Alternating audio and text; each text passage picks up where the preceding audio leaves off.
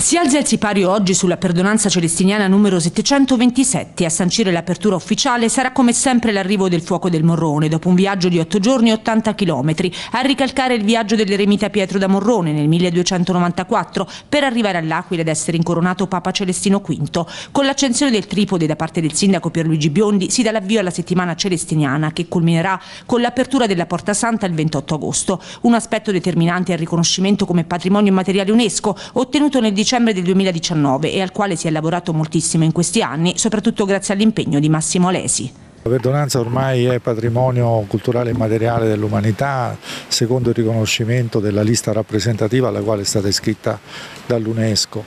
Eh, siamo diciamo, ormai un'organizzazione sotto tutela, possiamo dire, anche in una condizione futura, speriamo anche di salvaguardia, cioè un impianto che effettivamente fa parte delle prassi riconosciute a livello internazionale. La caratteristica resta quella che l'insieme delle celebrazioni della festa della perdonanza, cioè tutto ciò che ruota intorno al giubileo aquilano, sono state oggetto di riconoscimento e quindi sono patrimonio in quanto rappresentano l'idea della comunità opportunità di rivivere da 727 anni ormai questo momento e questa è la resilienza della comunità aquilana che vale per il mondo.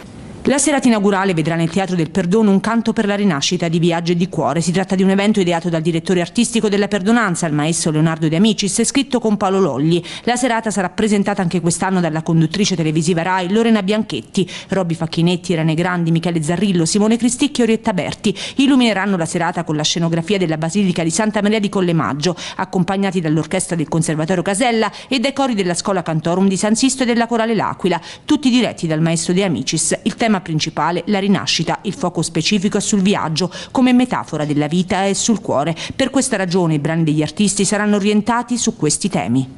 Lo spettacolo di questa sera è già sold out, posti tutti prenotati produzioni eh, fatte qui, eh, io costruisco eh, delle, delle, dei, dei, piccoli racconti e poi eh, chiedo agli artisti di partecipare.